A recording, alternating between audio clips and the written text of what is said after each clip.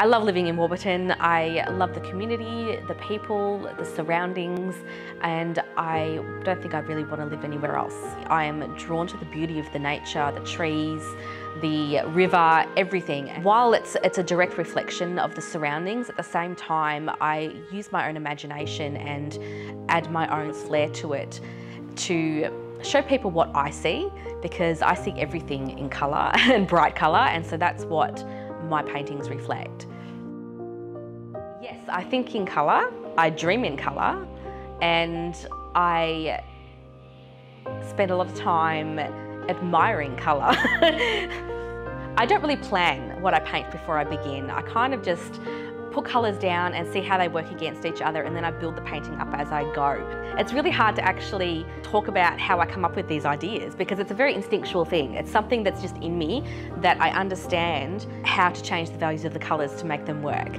I really love the impact that colour has and the way colour can have emotion and bring out feelings in people.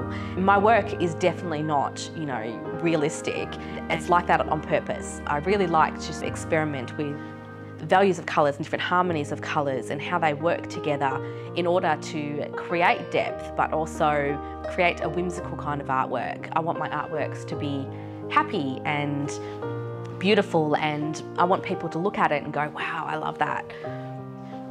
I get joy from being an artist through the process of actually just creating art and painting. I find it really relaxing, really meditative.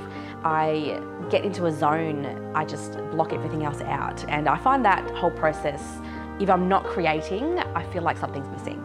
Honestly, I don't think it really, I really chose a path of creativity. I've just always been creative. I was surrounded with the creativity when I grew up and it was always encouraged. And so I kind of, that's just how I've lived my life. I've always had an urge to create and make and produce things.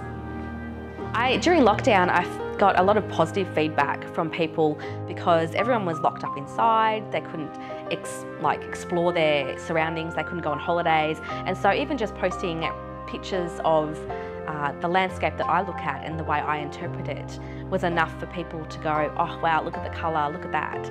I found a lot of joy in doing that as well and I really liked the fact that I was able to give people a break from their, you know, everyday lives